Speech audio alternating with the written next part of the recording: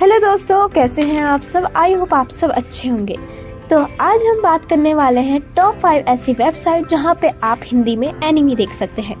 Number one पर आती है एनिमी प्लेनेट नंबर दो पर आती है नाइन एनिमी नंबर थ्री पर आती है एनिमेक्स इंडिया और नंबर फोर पर आती है टुनामी इंडिया और नंबर फाइव पर आती है फनीमेशन और ऐसी जानकारी के लिए हमारे चैनल को लाइक कमेंट शेयर और सब्सक्राइब ज़रूर करें।